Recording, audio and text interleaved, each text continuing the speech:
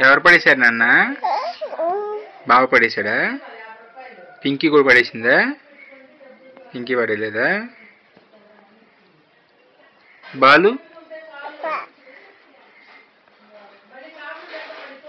బావని కొడదాం వచ్చినాక? అమ్మా నువ్వు కొడదాం?